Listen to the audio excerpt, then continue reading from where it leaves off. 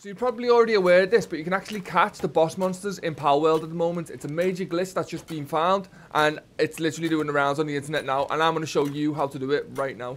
Okay, so the first thing you want to do, you want to travel to the small settlement, which is right here in this deserty area, and we're going to attack some of the guards that are there, because we need to be wanted for this glitch to work. So now that we're here, I'm going to switch to my trusty bow, I'm going to attack this guard right here.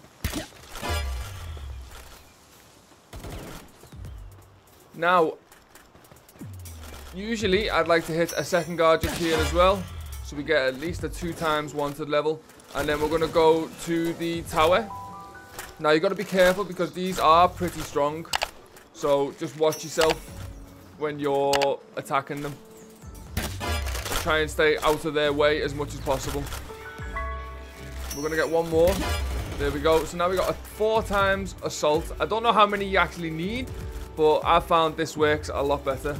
Now we're entering the tower, and all we're going to do, we're going to let the NPCs attack the boss. We're just going to skip the cutscene, let the NPCs attack the boss, and then you'll see the boss sort of glitch out. Just like that. Now it's being dead weird, and now you should be able to catch it if you throw the ball.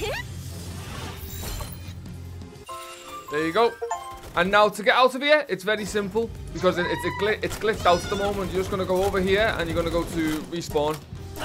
And that will get rid of your wanted level as well. And then you just got to go back to that location and collect your gear. And that's all you got to do. And now you will see when we respawn, let me respawn at the base. If we go into the PAL box now, we should have the boss as a pal, captured pal. There it is right there, Zoe and Grizbolt. And if we put it to work, look at the size of it. And you can see as well that we've even got Zoe riding on top. So, yeah, there you have it. Make the most of this glitch while you can because it is definitely going to get patched. And if you look at the health as well, the health is just absolutely insane. Let's go down to it and have a look now. 30,550 health.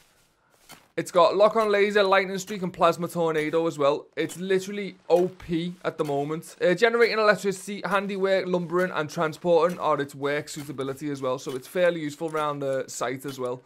So yeah, make the most of it while it's not patched. If you want to, if you don't, then fair enough. But I just kind of like having the actual trainer on the back as well. So just a cool little trick, a cool little glitch. And yeah, I thought that I'd share it. I know it's already plastered around the internet, but I thought, you know what, I'm going to share it as well. But yeah, let me know what you think of this one down below. Don't forget to leave a like. Don't forget to subscribe and turn on that notification bell so you don't miss any future videos. And I will catch you in the next one. Take it easy. Peace.